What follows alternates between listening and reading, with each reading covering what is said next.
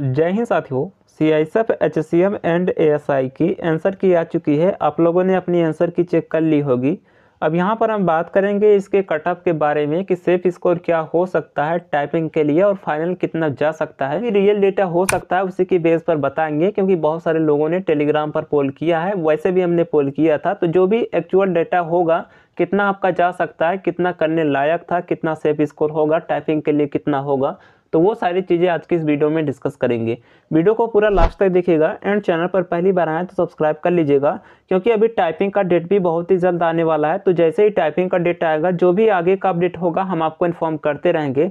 तो चैनल पर पहली बार आएँ तो सब्सक्राइब कर लीजिएगा। लेटेस्ट अपडेट आपको यहाँ पर मिलता रहेगा। आपके सलेक्शन तक हम आपको जानकारी देंगे।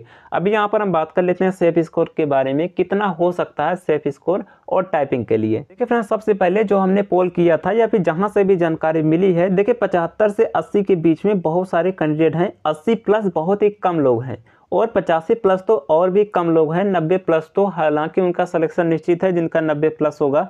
देखिए, सबसे पहले आपको पता होगा कि इसमें जो कट ऑफ़ लगता है, वो ऑल इंडिया लगता है स्टेट वाइज नहीं लगता, किंतु हाँ जनरल का अलग लगता है ओबीसी का अलग कैटेगरी वाइज लगता है, किंतु स्टेट वाइज नहीं लगता। तो सभी को एक ही कट ऑफ़ में फाइट करना पड़ेगा अपनी कैटेगरी में, इसमें कोई स्टेट का रिजर्वेशन नहीं है। अब देखिए, बिल्कुल सेफ़ स्कोर क्या हो सकता है, वो हमने यहाँ पर पहले भी आपको बताया था कि अगर आपके एट्टी प्लस हैं तो ये बिल्कुल सेफ़ स्कोर होगा, राय स्कोर अभी देखिए नॉर्मलाइजेशन होगा, ये तो राय स्कोर के बेस पर लोगों ने पोल किया है, लोगों ने हमें बताया है। तो अभी नॉर्मलाइजेशन होगा और नॉर्मलाइजेशन में अच्छे खासे नंबर बढ़ते हैं। सी आई फायरमैन में तो इन्होंने हद कर दी थी, उसमें तो किसी के पाँच से छः नंबर घटा दिए, किसी के दस से पंद्रह नंबर बढ़ा दिए। मतलब नॉर्मलाइजेशन का इसका कोई फैक्टर ही नहीं होता, और जो भी क्वेश्चन इसमें गलत हुए हैं, वो अभी ऐड होकर आएँगे, जो भी आपकी फाइनल आंसर की आएगी। तो उसके लिए आपको परेशान होने की ज़रूरत नहीं है कि हमारे इतने क्वेश्चन इस शिफ्ट में गलत दिए हैं। तो जो भी शिफ्ट में क्वेश्चन गलत दिए हैं तो बहुत सारे लोगों ने ऑब्जेक्शन किया होगा तो वो आपका नंबर जब आपका स्कोर कार्ड आएगा, उसमें ऐड होके आएगा। तो देखिए, ये तो बिल्कुल सेफ़ स्कोर रहेगा अगर आपके 84 प्लस बन रहे हैं तो आप किसी भी कैटेगरी से आते हैं। हालाँकि और कैटेगरी का कम जाएगा, अभी मैं वो भी बता देता हूँ, किंतु बिल्कुल सेफ़ अगर आप खुद को समझना चाहते हैं तो 84 प्लस पर आप खुद को सेफ़ समझ सकते हैं। अभी यहाँ पर हम बात कर लेते हैं, टाइपिंग के लिए कितना जा सकता है, उसके बाद कितना बढ़ सकता है। तो देखिए, ये टाइपिंग के लिए कट ऑफ़ हो सकता है, क्योंकि देखिए, इसमें वैकेंसी 540 पोस्ट है और जो 2019 की वैकेंसी थी, उसमें जो है चार सौ उनतीस पोस्ट थी। चार सौ उनतीस पोस्ट 2019 में थी, इसका उन्यासी गया था टाइपिंग के लिए कट ऑफ़ इसका ऑफलाइन पेपर था, इसका ऑनलाइन पेपर था और 2019 के मुकाबले थोड़ा सा अच्छा था।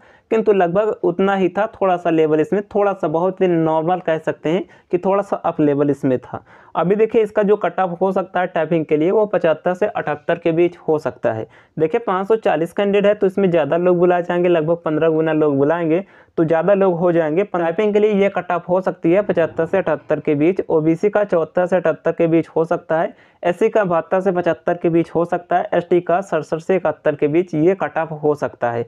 और देखिए यहाँ पर ई e का भी लगभग सेम रहता है। जनरल ई e और ओ बी e का भी आप समझ सकते हैं कि चौहत्तर से अठहत्तर के बीच ही। इसी के बीच आपका टाइपिंग का कट ऑफ़ हो सकता है ईडब्ल्यूएस के लिए। अब यहाँ पर हम बात कर लेते हैं कि कितना फाइनल बढ़ सकता है। देखिए अगर आपके इतने नंबर बन रहे या फिर इससे थोड़े बहुत कम भी बन रहे हैं तो आप लोग अपनी टाइपिंग की तैयारी करते रहिए। क्योंकि टाइपिंग में बहुत सारे लोग बाहर होते हैं तो टाइपिंग आपको अच्छे से करनी है। जो टाइपिंग कर जाएगा, वो फाइनल सिलेक्शन ले जाएगा। क्योंकि इसमें बहुत सारे लोग टाइपिंग में बाहर हो जाएँगे कम लोग सेलेक्ट किए जाते हैं, वैसे भी जिनके नंबर ज़्यादा होंगे, अगर वो टाइपिंग में बाहर हो जाएँगे तो फिर कम नंबर वालों के चांस बन जाएगी। तो टाइपिंग में बाहर होते हैं, आप लोग टाइपिंग करते रहिए, अगर इस रेंज के बीच आपके नंबर आते हैं। बाकी देखिए, चार से पाँच नंबर इसके बाद फाइनल भी बढ़ सकता है, ज़्यादा नहीं। अगर ये डिपेंड करेगा कि टाइपिंग में कितने पास हो रहे हैं, किस तरीके की टाइपिंग वो ले रहे हैं, वो हार्ड ले रहे हैं या फिर नॉर्मल टाइपिंग ले रहे हैं, कैसा मैटर दे रहे हैं तो वो उसके बाद डिपेंड करेगा। अब इसमें मेडिकल भी होगा। तो अभी देखिए मेडिकल तो हालाँकि वैकेंसी के बराबर ही लोग बुलाते हैं डी होगा टाइपिंग ही सब कुछ इसमें है। टाइपिंग के बाद कितना बढ़ सकता है? तो आप ये मान के चलिए कि चार से पाँच नंबर तक टाइपिंग के बाद भी बढ़ सकता है। तो यहाँ पर ये इसका सेफ़ स्कोर रह सकता है, चार से पाँच नंबर टाइपिंग के बाद भी बढ़ सकता है। तो यहाँ पर अगर अठहत्तर है तो आप ये मान सकते हैं कि तिरासी तक हो सकता है। हालाँकि नॉर्मलाइजेशन में अगर ये सबके बढ़ाते हैं, फिर तो ये और कट ऑफ़ बढ़ के जाएगा। अगर ये सबके घटाते बढ़ाते हैं तो इतना रह सकता है, पचासी के आसपास आपका कट ऑफ़ रह सकता है। अगर किसी के घटाते हैं, किसी के बढ़ाते हैं, किसी शिफ्ट में ये कम भी करते हैं। बाकी अगर सबका बढ़ा देंगे, फिर तो दस नंबर, पंद्रह नंबर सबका बढ़ाना पड़ेगा। जिसका हार्ड शिफ्ट होगा, उसका तो दस बढ़ाना पड़ेगा। तो ये डिपेंड करता है कैसा नॉर्मलाइजेशन होता है। बाकी अगर इसके बीच आपके नंबर बन रहे हैं तो आप टाइपिंग करने स्टार्ट कर दीजिए। और आपके कितने नंबर बन रहे हैं, आप हमें कॉमेंट सेक्शन में बताइएगा। चलिए मिलते हैं नेक्स्ट वीडियो में, तब तक लिए जय हिंद।